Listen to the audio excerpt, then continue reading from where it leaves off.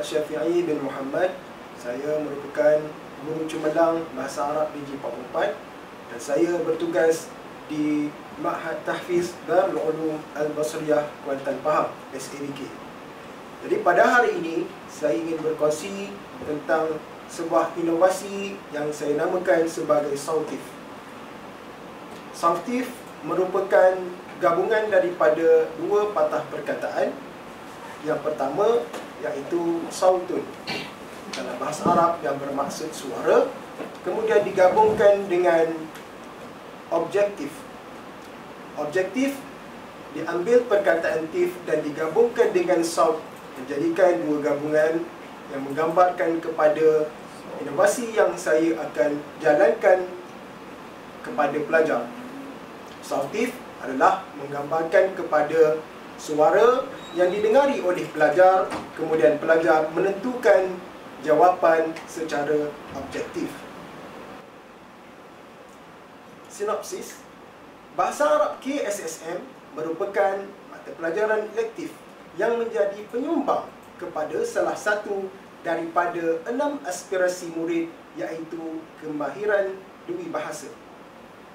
Kaedah sautif yang dibina merupakan satu inovasi hasil daripada refleksi kendiri guru untuk menilai kemahiran mendengar pelajar melalui proses dengar dan tentukan kosakata dan frasa.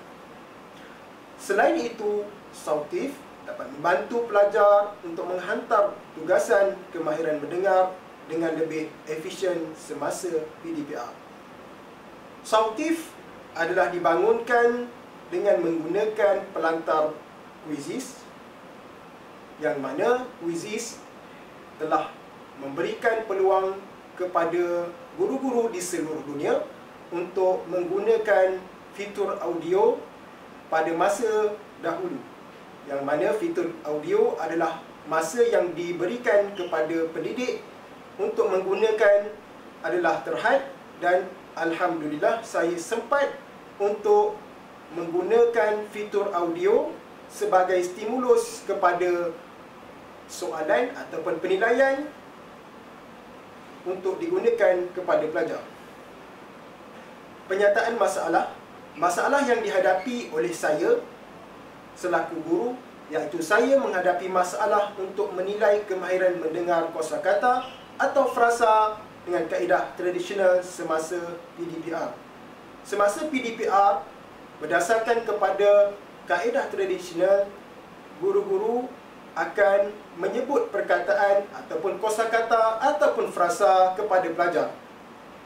Dengan kaedah yang dilaksanakan itu menyebabkan penilaian pelajar terhadap kemahiran mendengar menjadi menghadapi masalah dan gagal untuk direkodkan. Dalam menilai kemahiran mendengar, menerusi sautif, soalan berbentuk objektif, aneka pilihan iaitu OAP akan dibina.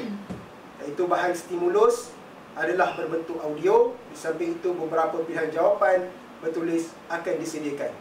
Ini adalah mendasari kepada yang terkandung di dalam DSKP, iaitu pelajar harus menentukan atau menyesuaikan perkataan ataupun dikataan yang, yang lain, kosa kata atau frasa yang didengar dan menyesuaikan dengan kalimah yang ditulis. Jika dilihat di dalam DSKP Bahasa Arab menengah rendah, dikata 1, 2 dan 3, terdapat aktiviti mendengar kosa kata dan memberikan respon terhadap tema tertentu. Fokus sautif adalah untuk menilai item ini iaitu menentukan kosakata yang didengari dengar dengan kosakata yang ditulis. Begitu juga mendengar frasa dan memberikan respon berdasarkan tema tertentu iaitu menentukan frasa yang didengari dengan frasa yang ditulis. Maksudnya sautif ini adalah memfokuskan kepada penilaian terhadap pelajar dalam kemahiran mendengar kosakata dan juga frasa dengan lebih efektif dan juga sistematik. Seterusnya sasaran penggunaan inovasi sautif. Inovasi ini mensasarkan pelajar yang mengambil bahasa Arab tingkatan 1, 2 dan 3. Di antara impak inovasi Sautif yang pertama memudahkan guru untuk menilai kemahiran mendengar, kosakata dan frasa semasa PDPR.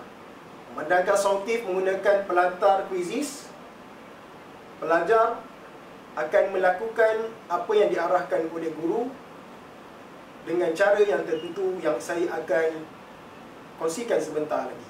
Yang kedua, memudahkan para pelajar mendengar rendah bagi tingkatan 1, 2 dan 3 melaksanakan ujian kendiri bagi semua unit dalam buku teks. Seterusnya, bagaimanakah caranya untuk pelajar menggunakan sautif? Bagaimana telah saya katakan tadi bahawa sautif ialah satu proses penilaian kemahiran mendengar, kosakata dan juga frasa.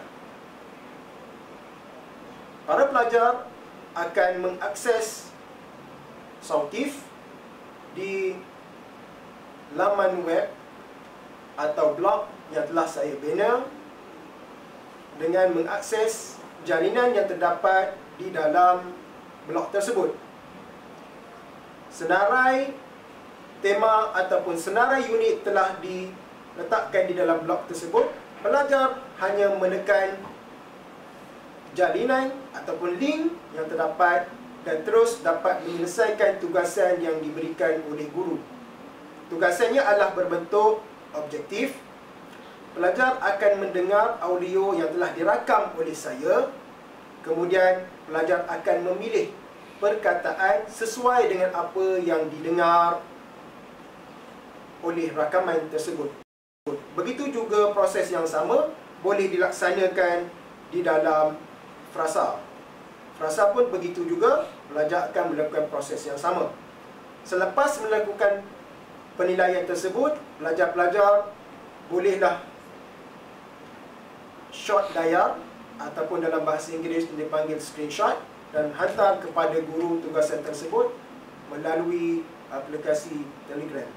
Dengan hal ini memudahkan proses penilaian dengan lebih efisien dan pantas berbanding dengan kaedah yang tradisional. Seterusnya, saya ingin merakamkan setinggi-tinggi perhargaan buat Kementerian Pendidikan Malaysia, JPN Negeri Pahang, BPG, Jemaah Nazir Malaysia, PPD Kuantan, Majlis Guru Cemerlang Negeri Pahang, JKKD Bahasa Arab Daerah Kuantan, Pengetua dan warga Ma'had Tahfiz Darul Ulum Al-Basriyah isteri dan anak-anak yang tercinta.